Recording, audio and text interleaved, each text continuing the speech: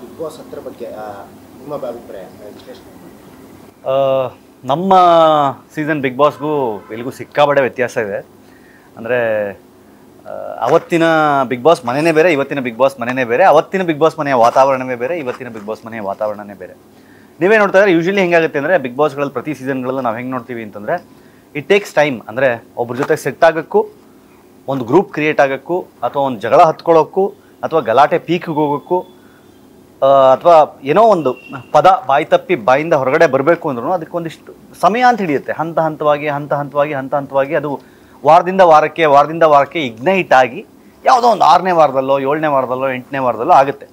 ಅಂದರೆ ಆಗಲ್ಲ ಅಂತಲ್ಲ, ನಮ್ಮ ಸೀಸನ್ನಲ್ಲೂ ನನಗೂ ಪ್ರಥಮಗೂ first ವೀಕೇ ಹತ್ಕೊಂಡಿತ್ತು.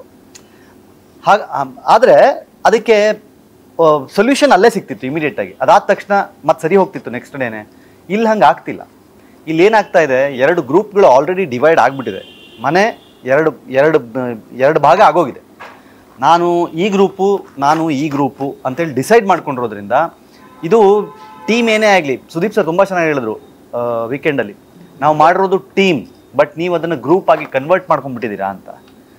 And one of the worst groups ನಾನು ನೋಡ್ತಾ ಇರೋದು ಅಂತ. ಎಸ್ ಅನ್ನಿಸ್ತಾ ಇದೆ. ಯಾಕೆಂತಂದರೆ ಯಾವ ಯಾರು ಈಗ ವಿನಯ್ ಏನೋ ತಪ್ಪು ಮಾಡಿದಾಗ ಆ ಗ್ರೂಪಲ್ಲಿ ಇದ್ದವ್ರಿಗೆ ಅದು ಸರಿ ಅನಿಸುತ್ತೆ. ಎದುರುಗಡೆ ಅವ್ರಿಗೆ ತಪ್ಪಾಗಿ ಕಾಣಿಸುತ್ತೆ. ಅಥವಾ ಈ ಕಡೆ ಸಂಗೀತ ಏನೋ ತಪ್ಪು ಮಾಡಿದಾಗ, ಸಂಗೀತ ಮಾಡಿ ಸರಿ ಅಂತ ಆ ಗ್ರೂಪ್ ಅವ್ರಿಗೆ ಅನ್ನಿಸ್ತಾ ಇದೆ ಎದುರುಗಡೆ ಎದುರುಗಡೆ ಅವ್ರಿಗೆ ತಪ್ಪು ಅಂತ ಅನ್ನಿಸ್ತಾ ಇದೆ. ಅಂದರೆ ವಿಷಯಾಧಾರಿತವಾಗಿ ಚರ್ಚೆಗಳು ನಡೀತಾ ಇಲ್ಲ. ವ್ಯಕ್ತಿ ಆಧಾರಿತ ಚರ್ಚೆಗಳು ಈ ಸೀಸನ್ನಲ್ಲಿ ತುಂಬ ಜಾಸ್ತಿ ಆಗಿದೆ ಅಂತಂದರೆ ಒಪ್ಕೊಳ್ಳೇಬೇಕು ಅದನ್ನ.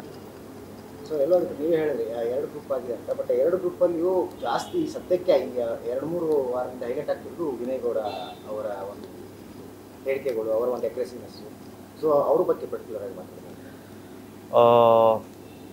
ವಿನಯ್, ನಾನು ನೋಡಿರೋಂಗೆ ಹೊರಗಡೆ ಆ ಥರ ವ್ಯಕ್ತಿ ಖಂಡಿತ ಅಲ್ಲ. ಅಂದರೆ ಸಿ ಇನ್ನೊಂದು ಏನು ಅಂತಂದರೆ, ಇಪ್ಪತ್ನಾಲ್ಕು ಗಂಟೆಗಳ ಬಿಗ್ ಬಾಸನ್ನು ಒಂದೂವರೆ ಗಂಟೆಗೆ ಎಡಿಟ್ ಮಾಡಿ ನಿಮ್ಮ ಎದುರುಗಡೆ ಇಟ್ಟಾಗ, ನಿಮಗೆ ಕೆಲವು ಸಲ ಸ್ಕ್ರಿಪ್ಟೆಡ್ ಅಂತ ಅನಿಸುತ್ತೆ, ಕೆಲವು ಸಲ ಅಗ್ರೆಷನ್ ಯಾಕೆ ಈ ಲೆವೆಲಲ್ಲಿ ಇದೆ ಅಂತ ಅನ್ಸುತ್ತೆ ಬಟ್ ಅದರ ಹಿಂದೆ ಒಂದು ಮೂರ್ನಾಲ್ಕು ಸಲ ಬೇರೆ ಬೇರೆ ವಿಷಯಗಳಲ್ಲಿ ಇಗ್ನೈಟ್ ಆಗಿ ಲಾಸ್ಟಲ್ಲಿ ಮನುಷ್ಯ ಯಾವುದೋ ಒಂದು ವಿಷಯಕ್ಕೆ ಎಕ್ಸ್ಪ್ಲೋರ್ಡ್ ಆದಾಗ, ಅದನ್ನು ಮಾತ್ರ ನೀವು ಎಡಿಟೆಡ್ ವರ್ಷನಲ್ಲಿ ನೋಡಿರ್ತೀರಿ.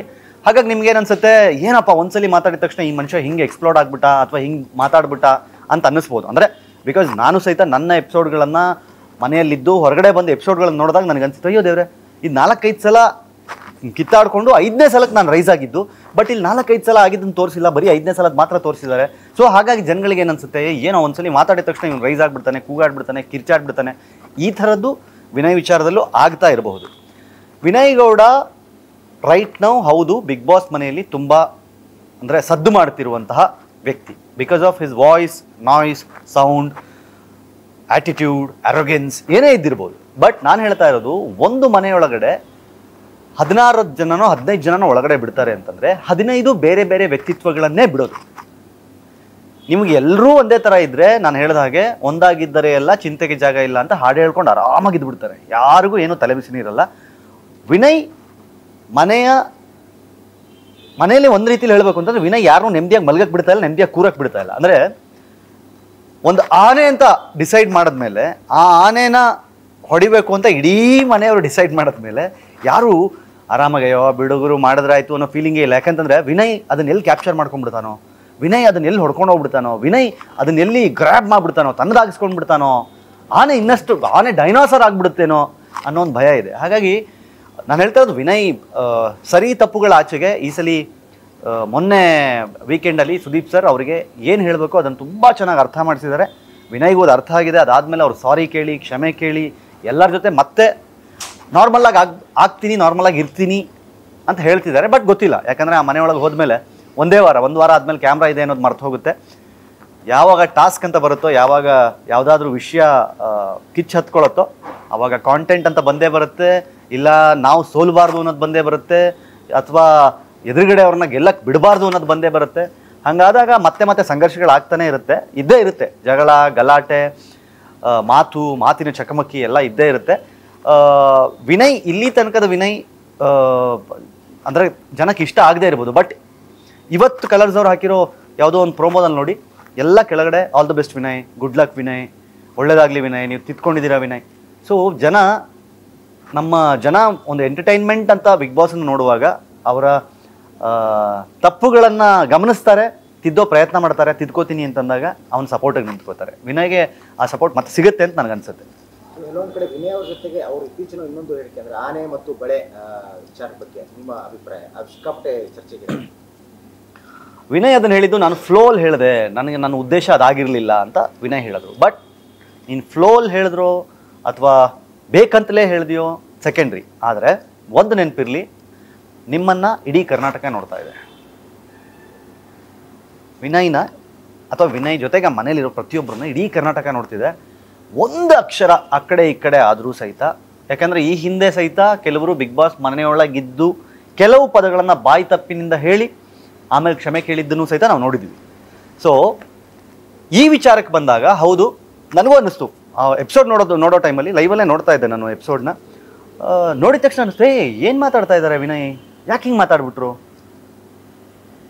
ಅಂದರೆ, ಬಳೆ ತೊಡೋದು ಏನೋ ಒಂದು ವೀಕ್ನೆಸ್ಸಾ ವಿನಯ್ ಇದನ್ನು ಮಾತಾಡಬಾರ್ದಾಗಿತ್ತು. ನನ್ನ ಪ್ರಕಾರ ಇದು ಇದು ಹೊಡೆಸ್ ಹೊಡೆಸ್ಕೊಳ್ತಾರೆ ವಿನಯ್ ಅಂತ ಅನ್ನಿಸ್ತು.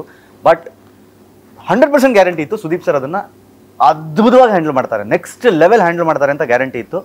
ಎಷ್ಟು ಚೆನ್ನಾಗಿ ಹ್ಯಾಂಡಲ್ ಮಾಡಿದ್ರು ಅಂತಂದರೆ ಆ ಬಳೆಯ ಫೋಟೋನ ಒಳಗಡೆ ತರಿಸಿ, ಅದಕ್ಕೆ ಕಿಚ್ಚನ ಚಪ್ಪಾಳೆಯನ್ನು ಕೊಟ್ಟು, ನಿಜವಾಗ್ಲೂ ಹೇಳಬೇಕು ಅಂತಂದರೆ ಹೊರಗಡೆ ಹೆಣ್ಮಕ್ಳು ಯಾರು ಇಲ್ಲಿ ತನಕ ಬಳೆ ಹಾಕ್ಕೊಂಡು ಓಡಾಡ್ತಾ ಇರಲಿಲ್ವೋ, ಏನೋ ಫ್ಯಾಷನ್ನು, ಏನೋ ಸ್ಟೈಲು ಅನ್ನೋರು, ನಿಜವಾಗ್ಲೂ ಹೇಳ್ತೀನಲ್ಲ, ಎರಡು ಬಳೆ ಎಕ್ಸ್ಟ್ರಾ ಒಂದು ಎರಡು ಬಳೆ ಕೈಗೆ ಹಾಕ್ಕೊಂಡು ಹೊರಗಡೆ ಬರ್ತಾರೆ ಈಗ. ಯಾಕಂದರೆ ಬಳೆಯ ತಾಕತ್ತಂಥದ್ದು ಅದು ಬರೀ ಅಲಂಕಾರ ಅಲ್ಲ, ಅದೊಂದು ಶಕ್ತಿ ಅನ್ನೋದನ್ನು ಸುದೀಪ್ ಸರ್ ತುಂಬ ಚೆನ್ನಾಗಿ ಅರ್ಥ ಮಾಡಿಸಿದ್ರು.